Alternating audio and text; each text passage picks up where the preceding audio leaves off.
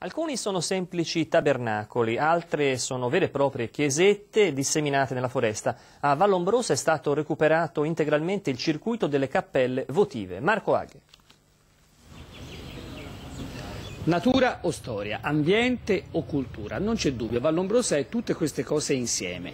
Luogo di spiritualità scelto mille anni fa da San Giovanni Gualberto, ma anche sinonimo di gestione oculata del bosco. Una foresta impiantata dai monaci, coltivata attraverso i secoli. Dagli abeti che arrivavano al mare via Arno si ricavavano gli alberi delle navi una abbazia piena di opere d'arte e di volumi preziosi e poi quasi un distillato di abbazia in pillole disseminate nel bosco come le briciole di Pollicino, le cappelle. Sono dieci, varie nella forma e nella complessità strutturale, collegate da un sentiero che si snoda all'ombra delle piante secolari, ricordando gli episodi salienti della vita dell'ordine vallombrosano e del suo fondatore.